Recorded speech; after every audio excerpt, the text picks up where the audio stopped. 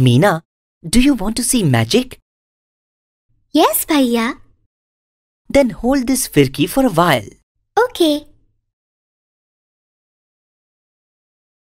Oh wow! This phirki is rotating. How this happened? This is due to the movement of air. Really? Yes, air is present everywhere around us.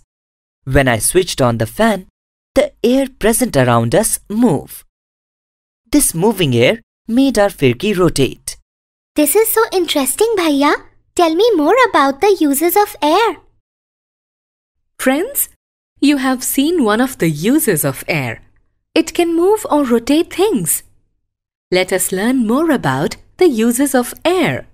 All living things need air to breathe. We inhale air and we exhale air.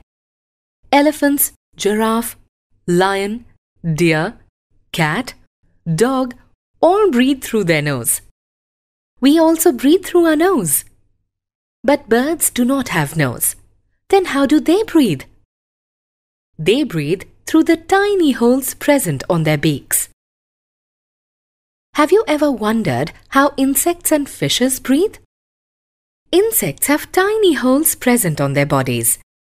They take in air with the help of these holes.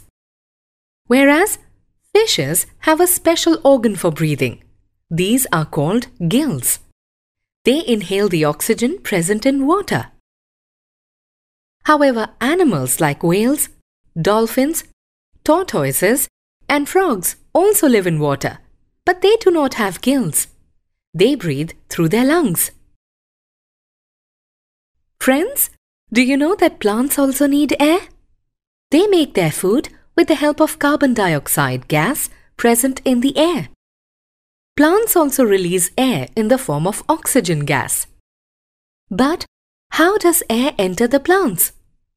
Let us know about this. The leaves of the plants have very minute pores.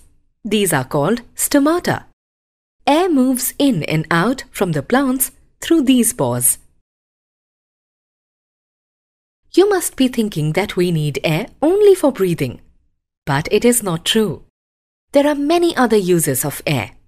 Have you ever seen a windmill? Windmill runs with the help of wind. People use windmill for grinding grains, pumping of water, and power generation. We also need air for burning things. Now tell me, what is there in your football and even balloons? Yes, air. Air is used to fill footballs and balloons. You might have seen some seeds of plants flying with the wind.